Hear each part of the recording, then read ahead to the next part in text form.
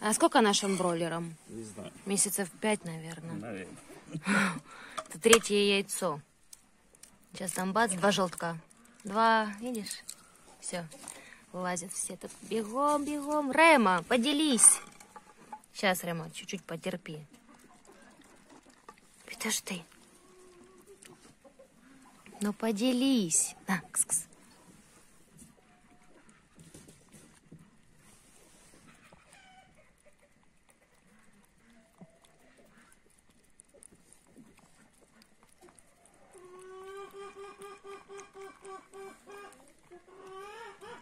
Бройлеры дали нам три яйца.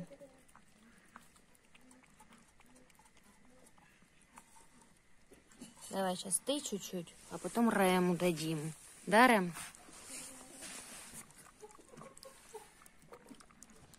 Это у нас третий раз уже такое. Одно яйцо было там, где три желтка было.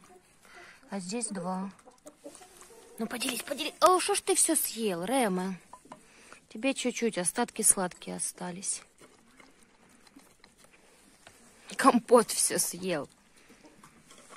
Компот. Вот так выглядят бройлеры в четыре с половиной месяца уже. Это у нас осталось 14 штук. Ой, боже, и лапами туда вдерть. Каждый друг друга толкает. Огромные уже. Переливают постоянно эти поилки, банку переливают. Ну, В общем, третье яйцо за последний, наверное, месяц, три недели, за последние три недели, да, где-то так. Вон какие они уже огромные.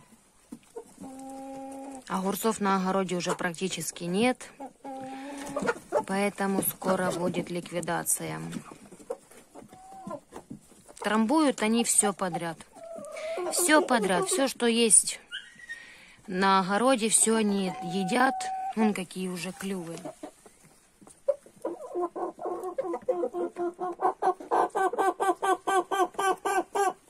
Кто там поет?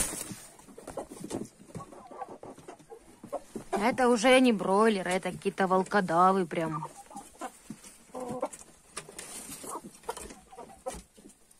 Каждый друг друга толкает.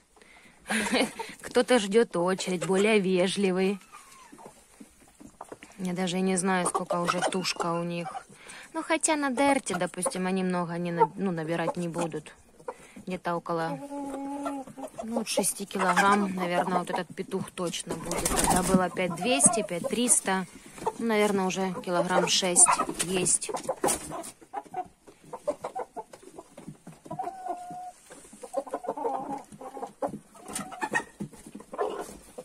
За ними можно наблюдать очень долго.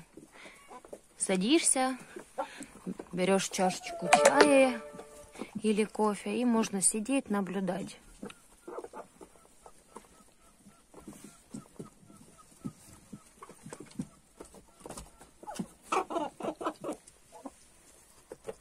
Ну, клюют